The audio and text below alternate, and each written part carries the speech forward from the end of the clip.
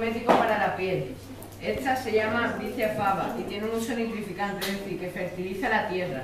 Eh, este es el raphanistrum, más conocido como rabanillo, y pertenece a las malas hierbas, que no son tan malas ya que reducen la erosión, aumentan la biodiversidad y en concreto esta especie le da de comer con sus frutos a las aves de tipo gorrión. Y nos da muchísimos recursos. Ahora que ellos van a decir más cosas sobre los usos del olivo. Una cosita, tenéis un código QR en el olivo, ¿para qué es? Aquí podéis escanear para una presentación sobre las malas hierbas. Gracias. Vale. Hola, somos Fernando y Javier y vamos a hablar de los médicos, gastronómicos y curativos de olivos y sus productos. Las hojas de este se pueden usar para combatir la hipertensión y algunas de las sustancias de la corteza para combatir los hemorroides. Aunque el aceite también tiene algunas propiedades curativas, como que para, si se consume, eh, el aceite puede ayudar a combatir el Alzheimer y algunos tipos de cánceres. Vale, y ahora los usos gastronómicos del aceite. El producto principal en la gastronomía es el aceite de oliva. Una gran parte que consiste en, en que te sirve para, para brillar y hidratarte. Vale, eh, hemos utilizado eh, una cantidad de sal gresa, la que vosotros preferáis, eh, tres cucharadas de aceite de oliva, que cuando se hayan mezclado estos dos durante tres minutos, hemos echado tres cucharadas de aceite de argano, de aceite de mosqueta, y luego lo hemos eh, puesto en horizontal durante 30 minutos a secar y cuando no esté húmedo pues ya se podría utilizar y, embolsarlos así para meterlos en el baño. Bueno, ahora vamos a hacer un sorteo con diferentes papeles para ver quién, quién se lleva bolsas de sal. Coger cada uno un papelito. Ah. Eh, la cristiana, la judía y la musulmana. Ellos tenían muchos conflictos entre sí, pero tenían algo en común, que era el aceite de oliva. Y nosotros con el aceite de oliva estamos haciendo dos dulces, los pecillos y la rosquilla. Eh, eh, lo que lleva la masa de la rosquilla es eh, aceite de oliva, leche, harina, huevo, levadura, azúcar, eh, ralladura de limón, ralladura de naranja y anís. Eh, lo que hacemos es echamos los ingredientes líquidos y luego y los mezclamos. Después echamos los ingredientes sólidos. Cuando ya tenemos una masa, tenemos que amasarla con las manos y normalmente se va a pegar, así que hay que echarle mucha más harina. hacemos, lo ponemos la dejamos reposar y lo ponemos en forma de rosquilla. Después las metemos a una fridora la sacamos y la pasamos por azúcar y canela. Ah, en conclusión, ah, la conclusión que nosotros queremos llevar que estas tres culturas eh, se pusieron de acuerdo y todas trabajaron con el aceite de oliva y trabajaron estos dos postres que son los pechines y las rosquillas que se dieron durante mucho tiempo en esa época. Y ahora nosotros los estamos reviviendo aquí de nuevo en clase. Y esa es la conclusión que le queríamos dar a esto, que aunque haya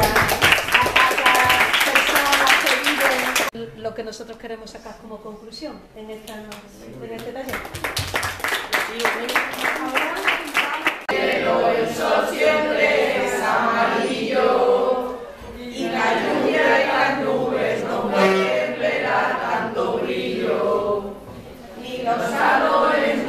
Podrán ocultar el camino de su ruta hacia el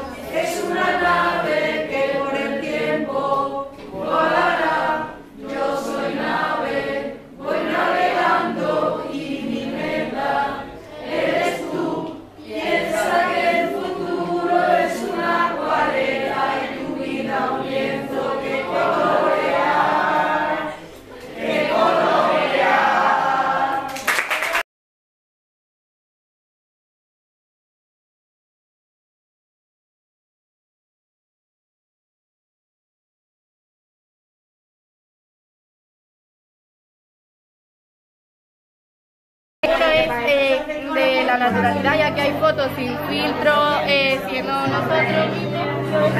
Y después en el otro pasillo, eh, bueno, ya aquí hacemos una foto natural a, a cada persona, que no estén posando, que no estén maquillados. Y en el otro, en el otro pasillo te maquillan, te dicen que poses y te hacen una foto. Entonces, estos sois vosotros los alumnos del aula, ¿no? Que os habéis hecho fotos de forma natural, como es la vida cotidiana, ¿no? Sí, fotos Y que no hemos encontrado. Y este es el túnel de la vida, normal. natural. Y ahora aquí en el otro Está túnel... la ficticia. Vale. Es que hace falta este taller, esto te demuestra que hace falta. Ay, perdón. Sí, no, no, no, no. ¿Qué haces? No me lo pongas. Esto es como las pinturas tribales, Pablo. No hacemos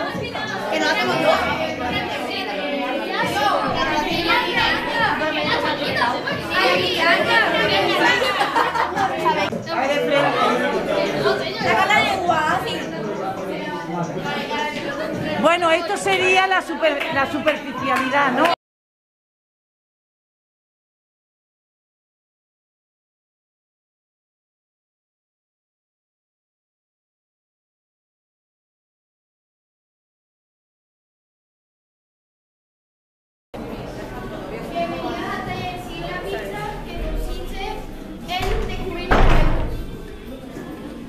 Eh, como ha dicho él, eh, eh, se basa en descubrir monumentos a base de cuatro pistas para descubrirlos.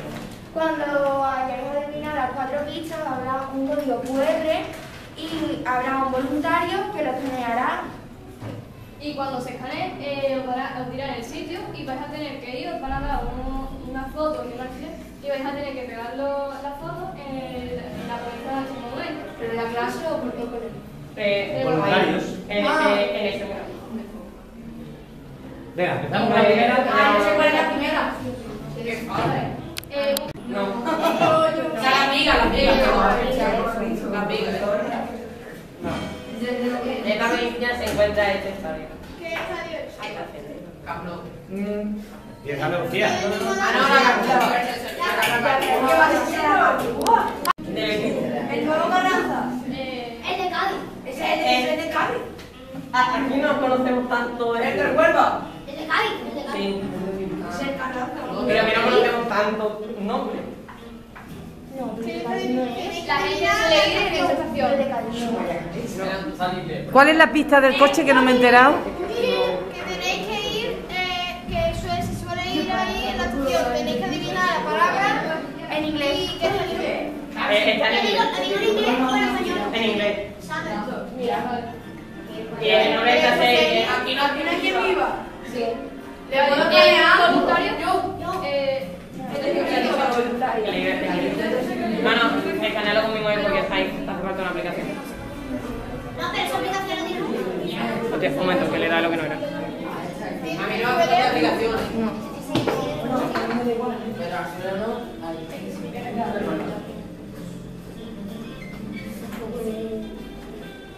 Vaya. eh, el sitio, ya. ¿Cuál es el sitio? ¿Estás buscando? Ahí. Vale, pues tienes- te van a dar una foto allí. La playa de los muertos. Y le tenéis que poner cuál es el mapa. Eh, aquí, en el cuarto. Yo sé dónde está.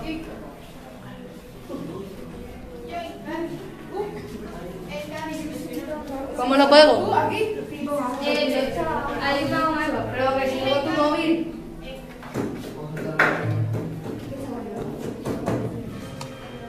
Y bueno, esta, esto es un trabajo que hecho, que no hay mucha información sobre esta playa, que es una playa, pero tal vez que es muy grande. Eso es una cosa.